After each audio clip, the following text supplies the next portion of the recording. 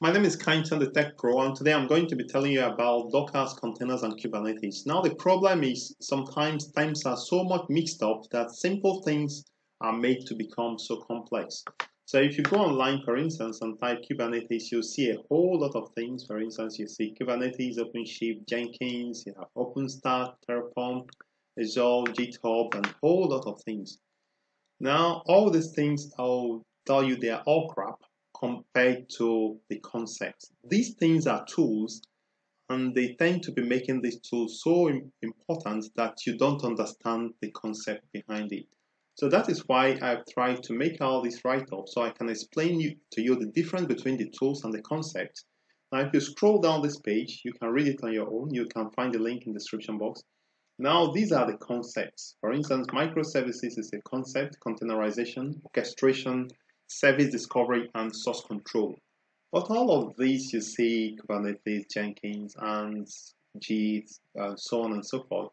All these are just technologies. They are just tools, software that intelligent programmers have written out there, and they are simply making it, uh, overhyping it and making it look so important. So now let me explain to you the concept of Dockers, containers, and Kubernetes. So let's start with microservices. Microservices is simple it simply means that if you have a large uh, program, normally if you build application, you build the application, write the source code, compile it, test it, and if it's running, you deploy it to the server. And you have this application, users will connect to these applications and then uh, maybe get data from database in the back end, right? All right, so this is called monolithic is called monolithic, meaning that it's a single application, right? In case of microservices, instead of to have a single big application, you have several applications or this big application has been divided into several applications. These small applications are called services. So each of them might have their own little database attached to each of them, right? So that's a different thing. They can also have a central database as well. But the fact that you've broken this application down into several uh, sub-application or services is called microservices, okay? That is the concept of microservices.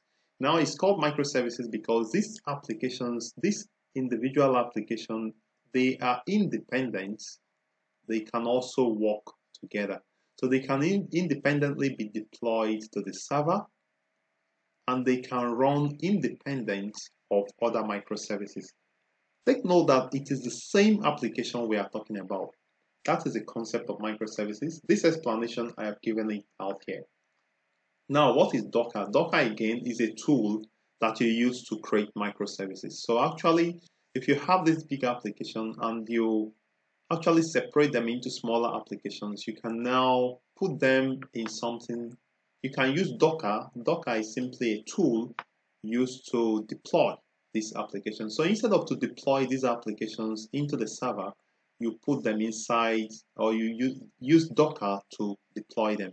So basically, if this is your production server, if this is your production server and this is your dev, so you have Docker sitting in between here, Docker. So it's sitting between development and production. So this application is broken down and put in, in Docker and then is able to be deployed to production. So that is how Docker works. Now, what is a container? I think I've made it clear here. A container is simply an instance of an image. When you are deploying these smaller applications into Docker, you are actually creating an image of this application. So this explanation is clear. It says Docker is a platform for, for building and running containers. It means that when you break an application down into microservices, you can use Docker to create what is called Docker images. An image is simply your microservice packaged together with all that is needed to run it, the runtime dependencies and everything. Once an image is created using Docker, then this image can be distributed or deployed and can be run on any platform. A container is an instance of an image, right? So when a Docker image, your microservice starts running, what is happening then? A container is automatically created. So a running image, remember a microservice is deployed or packaged into an image.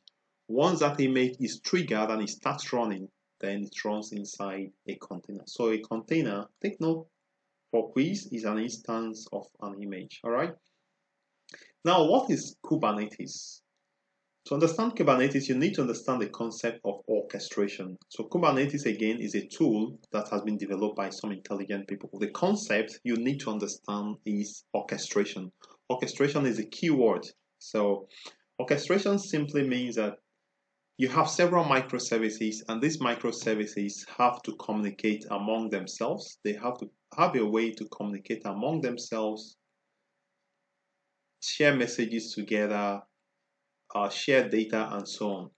So this is a concept of orchestration. A way microservices microservices communicate among themselves is the concept of orchestration. So again, I'm not going to say much, but I, I put the, uh, uh, the complete explanation in this place so you can easily read it. Now we have related concepts. So we have concept of service discovery. Service discovery means when you have several microservices, maybe dozens of them or hundreds of them, how does a client application making a request know which service actually contains the information he wants, which service to actually route this request to.